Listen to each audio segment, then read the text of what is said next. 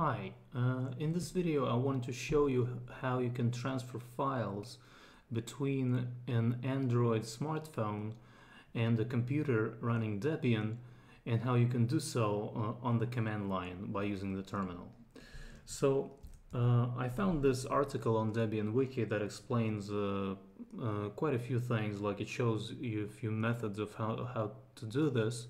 Uh, like specifically on in this command line section it lists three methods and uh, I'm gonna going be going over this second one in this video. So what you need to do first uh, in order to uh, get this to work is you need to install a package called uh, jmtpfs uh, so you need to run sudo apt install jmtp fs and that's going to install the package. Uh, here I'm going to show you the information page for it. So now you can go ahead and, and uh, connect your smartphone to your computer with a USB cable. And that's what I'm gonna do right now. So I'm gonna plug it in. So here you can see that uh, once I plugged in the cable uh, this charging the device via USB uh, notification appeared on the screen. Uh, so if I tap it, then I can enable file transfer over here. So that's what I'm gonna do. And now, um, if I go back to the computer, I can type in jmtp mtpfs and um, I think if I just run it without anything,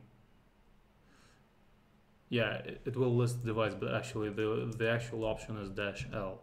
So that will list the connected devices and you can see that my, um, my smartphone was recognized there.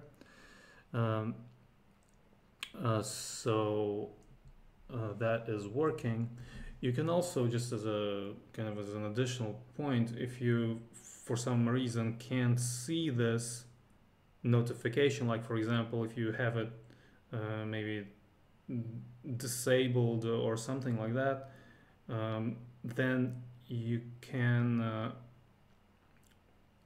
you can also uh, go into settings and uh, then connected devices USB and you get uh, to the same screen. So that's two ways to uh, to enable that file transfer.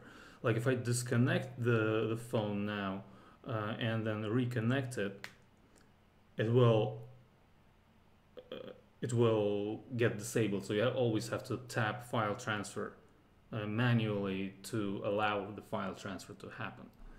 Um, so that's that. Um, so let's see. So I have my phone connected, so now I can mount it.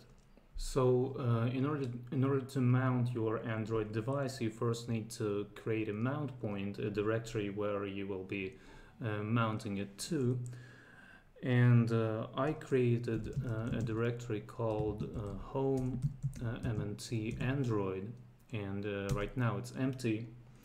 But if I run jmtp fs and then uh, the name of that directory that will mount uh, the device to that uh, to that directory. So now if I list the contents you can see that uh, internal shared storage uh, folder appeared there. And if I go in in there uh, everything the entire contents of my phone can be seen there. So um, so yeah, this is very convenient. You can simply transfer the files to and from your uh, your device uh, by using uh, the terminal. Let's just um, I don't know. Um, I, guess just we'll just create uh, like a test uh, file or something. This is a test file.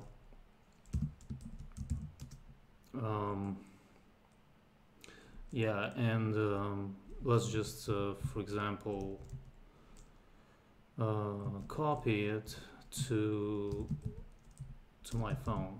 Mnt android internal shared storage and let's put it in like documents for example. Uh, so press enter and uh, if I list the contents of that uh, documents folder now you can see that uh, there's a the text test.txt file there. So now if I go back to my phone and uh, open the files app uh, for example and uh, let's navigate to that documents folder here it is the text file. And uh, yeah I have uh, an app installed that can open it.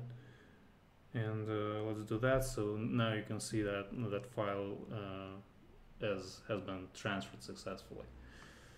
So this is very simple and uh, very convenient. I'll just go ahead and delete that file so that uh, it's not there because I don't need that. So now if I list it again the file is deleted.